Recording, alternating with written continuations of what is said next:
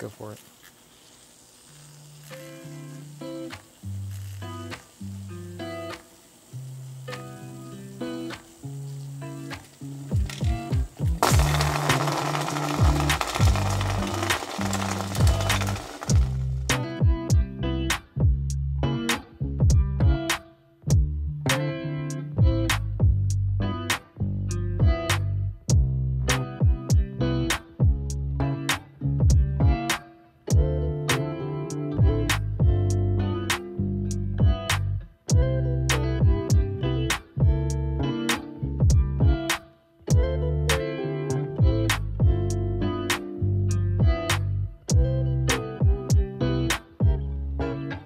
Was a kid, I watched a lot of nature shows, and I mean a lot of nature shows.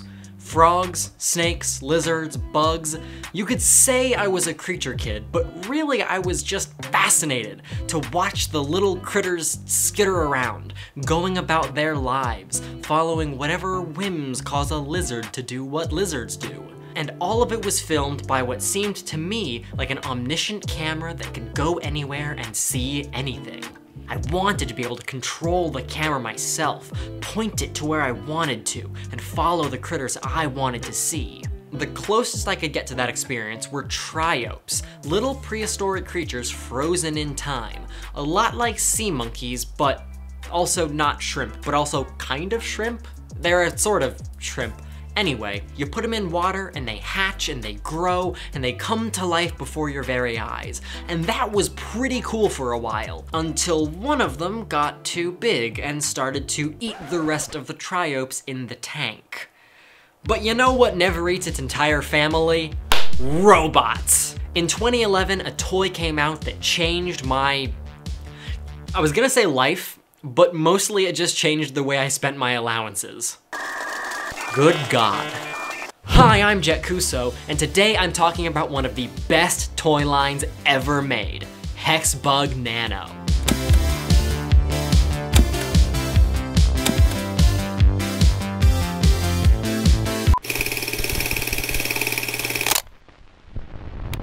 I was not a filmmaker back when I was a kid, but I am a filmmaker now, so a lot of people ask me for advice in regards to YouTube. How did you get so good at lighting? How did you get so good at editing? How can you be so confident talking on camera? And how are you so humble? Well, I'm still working on the last one, but I'll tell you my very simple philosophy for YouTube content creation. Every video I've made since we started making videos has been to improve myself and my own skill set. So even when a video doesn't perform well, I still have the gratification of having improved my craft. I've been on YouTube for 10 years now and it's taken me this long to get where I am, but you can get there a whole lot faster with the help of this video's sponsor, Skillshare. Skillshare is an online learning community that helps you learn new skills and improve skills you already have. Whether it's video editing, YouTube and cinematic lighting, or even technical stuff like how to be confident and engaging on camera, Skillshare has thousands of classes to speed up your creative journey. Currently, I'm taking Jordy Vandeput's class, Learn Adobe After Effects CC for Beginners. After Effects has always been an incomprehensibly complicated mess to me, but Jordy's class is breaking it down into ridiculously simple concepts. Each lesson is less than 20 minutes long, so it's easy for me to watch during breakfast. I'd love for some of you guys to come with me on this journey, so the first 1,000 people who use the link in the description will receive one month free trial to Skillshare Premium. Skillshare doesn't have any ads either because the whole platform is built for learning and creativity. But only the first 1,000 people to click the link in the description get the free trial. So hop to it and join Skillshare now. Okay, on to the Hexbug stuff. This is a Hexbug Nano. It's what's known as a bristle bot to smart nerds. A vibrating hard-body robot equipped with angled brushes underneath it. The vibrations make the body bounce up and down, and the bristle angle pushes it forward each time it falls. They can be made very simply with a toothbrush and a motor, but the company Innovation First decided to streamline the concept with an attractive design and fun colors. the result of any bristle bot is an erratic pattern of movement, as imperfections in the bristles and the surface send it buzzing off in random directions. And goodness gracious, it looks like a bug. Like, it really looks like a little bug skittering around. They'll even flip themselves upright if they fall over, after a decent amount of grotesque jiggling. A hexbug will quickly end up zipping off the edge of any table it's on, so your best bet is to put it on the floor and start chasing it around like you're in a Tom and Jerry cartoon. My childhood attention span was occupied remarkably well just trying to keep my first hexbug from skittering too far away from me and into the all-consuming void beneath the oven. It's pretty fun for a while, but then the thought hits you. What if two of them? Immediately upon placing two live Hexbug Nanos on the kitchen floor, Chaos Theory takes full effect. It takes catching a fly with chopsticks level focus to keep two nanos in check. Three makes the task impossible, so you get creative. You begin to utilize pretty much the only hard building material available to most children, books. If blankets and pillows are the walls of childhood castles, hardback books are the dungeons and catacombs of small-scale playing pretend. Kitchen floor hexbug mazes will only get you as far as your parents' patience will allow, and carpeted bedroom floors do not work for these guys. But lucky for you, consumerism has a solution for everything. Playsets. Good lord, the playsets. The first one I got was really simple, a white hexagonal platform called a cell to which you can connect gray track pieces to make a simple loop.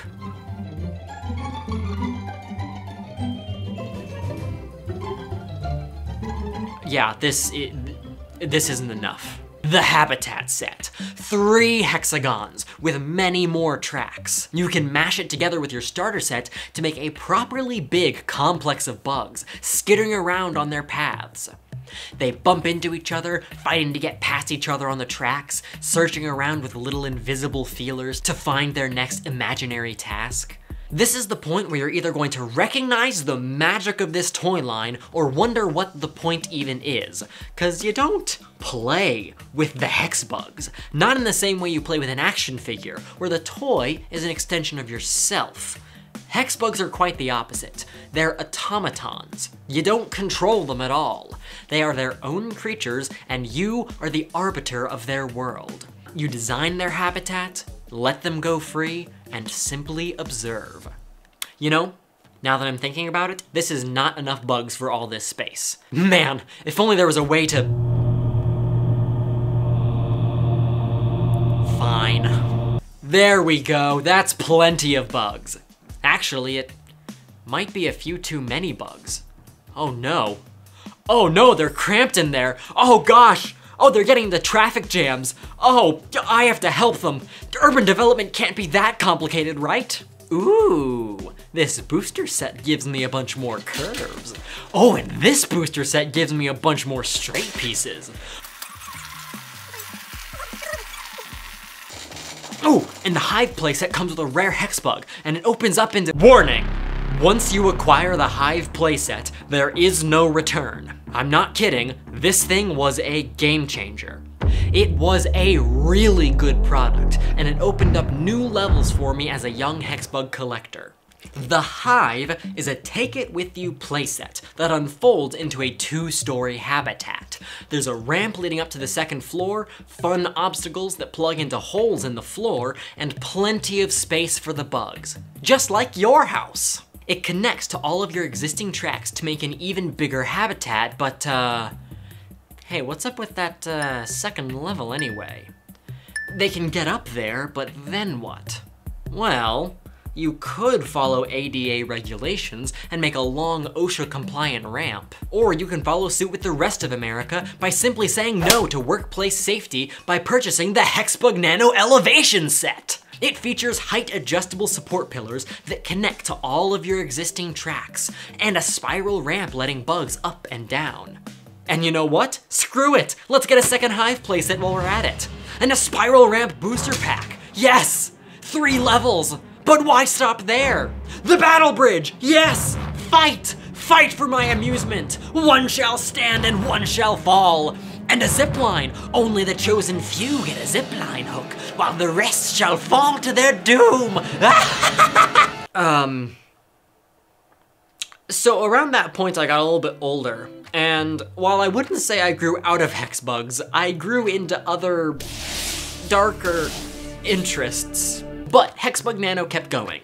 In year 3, they introduced Hexbugs V2, with bristles on their back so they could travel through these little tube pipes. These things honestly look insane and incredible, but I never got my hands on any because I got scared that my normal Hexbugs would get stuck in the pipes, and I'd have to get all new ones. And let that be a lesson to toy designers always allow backwards compatibility and advertise backward compatibility. You might get some new sales by reselling slightly different versions of stuff kids already have, but more likely you'll scare kids and parents off with your so-called innovation.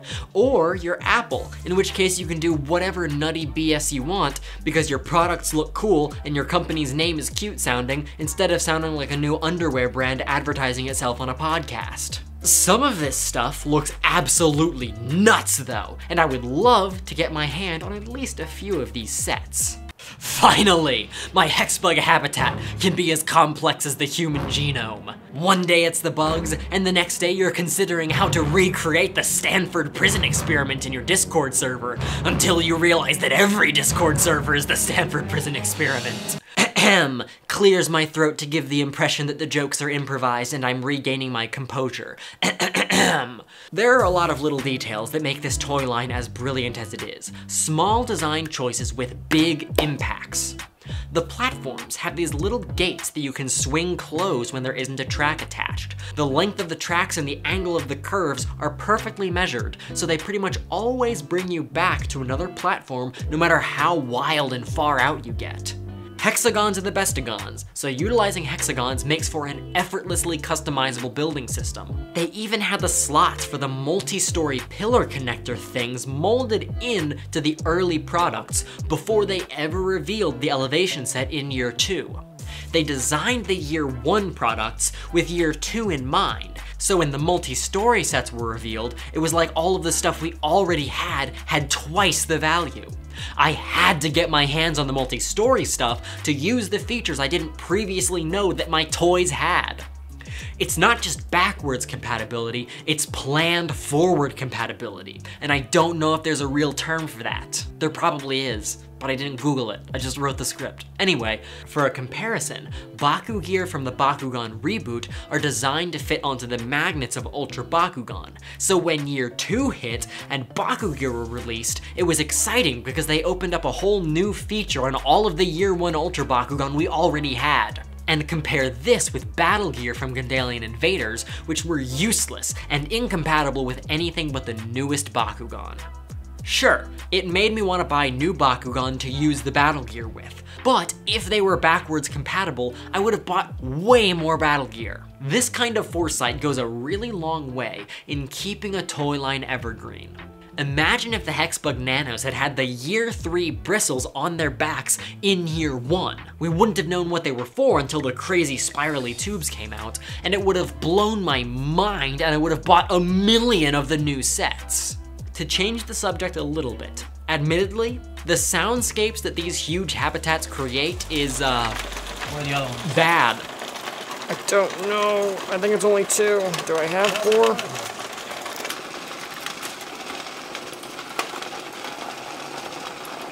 Yeah, so what's the point of the whole thing? Well, the appeal of the whole line is that they are robot bugs that act autonomously. You get to watch them and observe them as they go around, so most of the time you want them to work flawlessly. But they're just chaotic and just flawed enough that you have to manually intercede occasionally.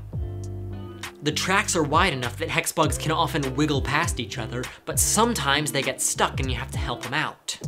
Sometimes if they fall over, they can get up, but sometimes you have to help them back upright. And let it walk. Let it go. Oh, okay. They move in a way that looks so alive. When they bump into walls, it looks like they're looking for food. When they're low on battery and they can't get up when they fall over, they squirm around helplessly like a bug stuck on its back.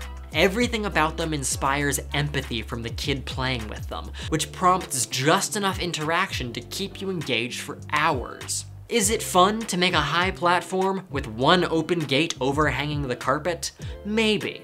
Does it fill you with a sick fascination to place a one-way gate on a remote platform far to one end of the habitat and see how long it takes for a rat utopia-esque behavioral sink to form naturally? Well, of course it does, but that would make you either a maniac or a future social behavior researcher, and no one would ever want that for you. They're also like the perfect combination of cute and cool looking, sleek designs, but they're super tiny and their little legs are really adorable. And all of this doesn't even talk about the little things they did in the marketing like putting out rare hex bugs and chase figures, checklists to make you collect more, a perfect $5 allowance price point, test tube shaped packaging to add a pseudo-scientific theming to it. It makes you want to buy more bugs, and once you have the bugs, you need the playsets, and the more playsets you have, the more bugs you need to fill it. They even sold their own batteries. It was brilliant. The toy line has continued on ever since then into admittedly a lot of weird places. Glow in the dark sets, uh, battle bugs with weapons, space command, uh, Transformers? Wow, I completely missed that era. And then there's the current toy line, which has gone in a very colorful direction with an emphasis on these flexible barriers that you can use to make larger habitats without the need for platforms. But you have to have hard floor or a table for that, and that kind of limits the audience, but whatever. I'd actually love to make a comparison video between the new stuff and the old stuff, but I have no idea if any of you are gonna care about that, so if you guys can get this video to 3,000 likes and 1,000 comments, I'll make a video comparing old Hexbug Nano with new Hexbug Nano. Anyway, uh, basically, I think my point is that Hexbugs are cool because they're like pets that can't die because they're robots.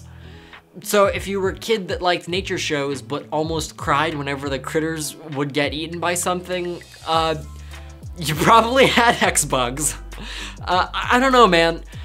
The video is either about that or the danger of letting your kids buy into toy lines that can indefinitely scale to match their deepest consumerist impulses. Either way, Hexbug Nano is absolutely one of the best toys ever. Thank you so much for watching. This is Jett Kuso, and I'll see you next time. Huh! Thank you so much to my patrons Varron OC, SheVitus, Sierra107, Skinny Chalk, The Jumping Devil, Mugwump Shadow, and Gavin Greenly. And thank you to my diamond patrons Chell and Jedi Master. If you want to support me on Patreon, go to patreon.com slash jettkuso. It helps me make way more overly high effort content just like this. Thanks so much.